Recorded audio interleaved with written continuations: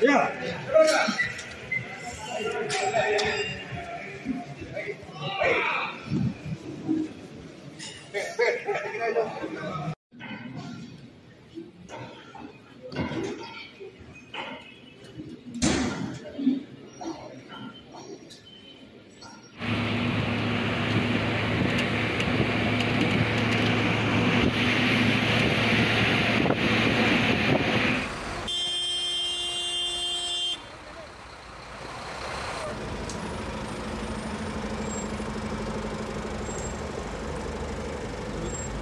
He dado disposiciones claras y precisas a los mandos militares y policiales para que intervengan en el control de las cárceles.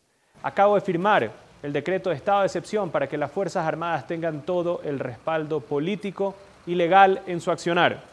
Hago un llamado a la ciudadanía, ya que esta lucha es de todos y que también les den su respaldo.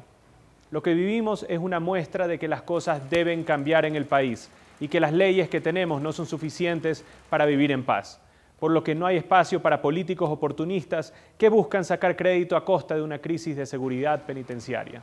Nosotros no vamos a negociar con terroristas, ni descansaremos hasta devolverle la paz a todos los ecuatorianos.